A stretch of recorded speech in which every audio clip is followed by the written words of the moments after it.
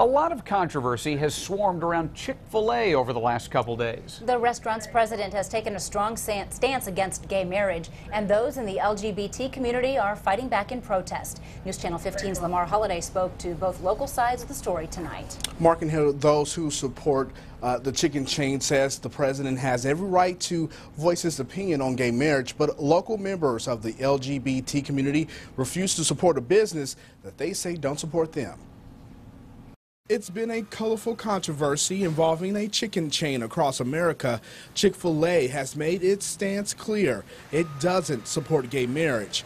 That clear cut conviction has received much support. I think it's rather admirable for Chick fil A to take a stand on this issue. It's an issue that defines our age. With much approval comes much opposition. Fort Wayne Pride Director Nikki Fultz says those in the LGBT community are taking their stance as well.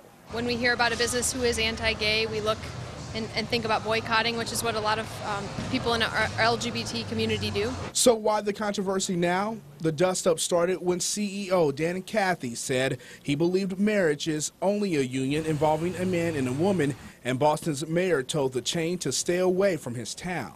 Now that the issues are coming to light, people are going to take their stances and, and support what their belief is. Two sides, different point of views, but there is one view they both share.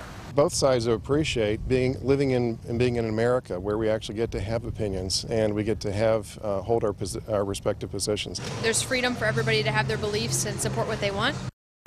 And both of those sides have planned a nationwide campaign. For more information on those campaigns, visit our website, wane.com. All right. Thanks, Lamar.